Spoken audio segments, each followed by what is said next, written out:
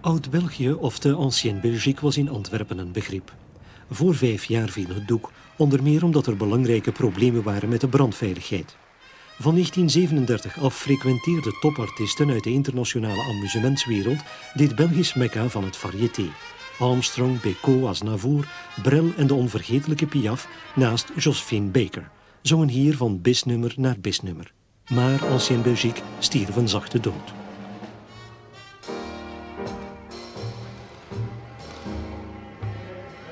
Twee zakenjongens zagen terug brood in het verlaten pand, waar intussen het stof ook de laatste herinneringen had vervaagd. Als het allemaal meezit, zullen er medio december in Oud-België weer wonderen gebeuren. Het wordt een polyvalent centrum met van alles en nog wat. We denken meer richting enkele dagen discotheek. En uh, ook dagen voor défilés, modedefilés.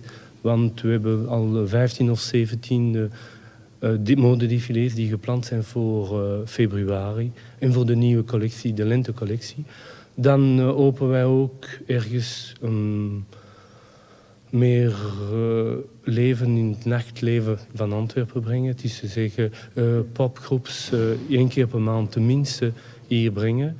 En ook typische Antwerpse groepen, meer amateurs dan in feite dan professionele, die de kans krijgen om uh, iets speciaals te doen hier op een avond. Uh, twee of drie groeps uh, die samen zouden komen. Ja. Nu, welk soort publiek wilt u hier aanlokken? Meest publiek. hoe meer, hoe beter. Het is te zeggen, nee, dat was een grap. In feite meer tieners, twintigers, dertigers en meer.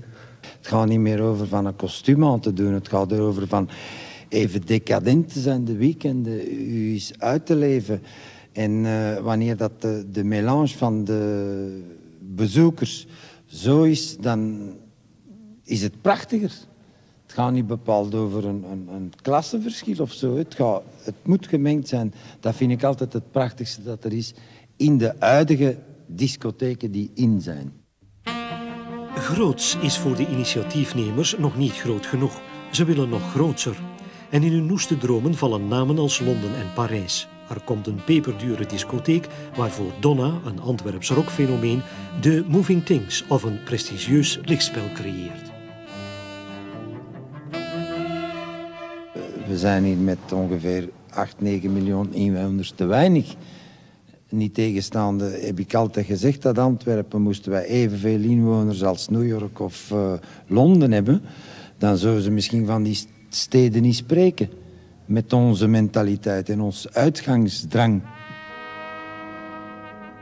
De geraamde kostprijs voor het project blijft even duister als de affiche voor volgend seizoen.